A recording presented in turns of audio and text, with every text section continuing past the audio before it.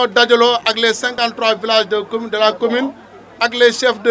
euh, les responsables politiques les femmes les jeunes ni dañu bëgg vraiment remercier bu baax a baax le président Macky Sall remercier bu baax a baax le professeur Mary Teuw Niane ministre de l'enseignement supérieur remercier bu baax le coordonnateur départemental Mansour Faye remercier bu baax a baax a baax le personnel de Crous remercier bu baax a baax góor jigéen mag ak ndaw ndax lii buñ ko amee commune de Fass Ngom la d'abord maa ngi leen di sant bu baax ndax bu ma mënee am lii ba ba président Macky di ma sant di ma gërëm yéen la commencé si kii sama di sant yàlla bu baax nag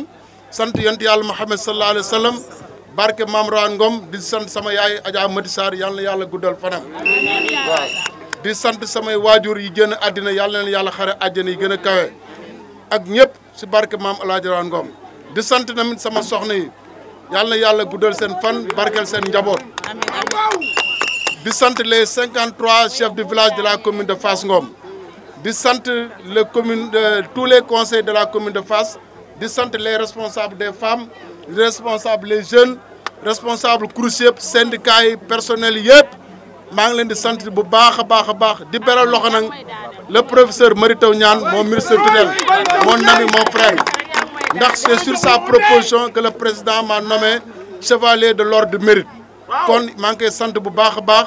bu baax a baax a baax di wax Diouf na nga ko transmettre di sant bu baax a baax tamit euh, euh, Amadou Mansour Faye le coordinateur départemental keroog woo na ma ni ma Mary Teuw Niane lii commune département bépp la ko def moom ak Aminata Gueye ni ma su ma mëwoon daa ñëw mais dafa xat ndax dafa war a jàll assemblée nationale kon lii ma am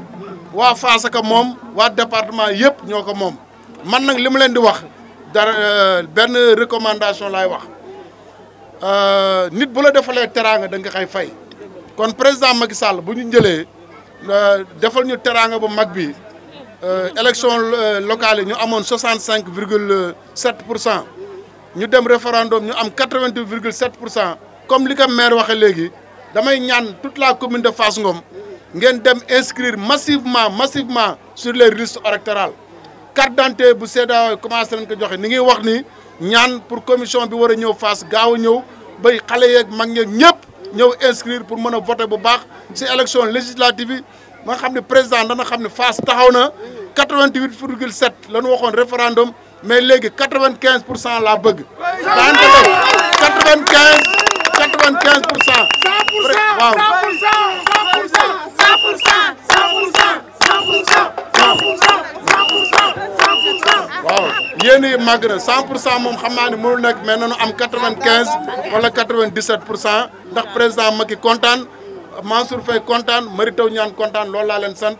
yàlla na leen yàlla fay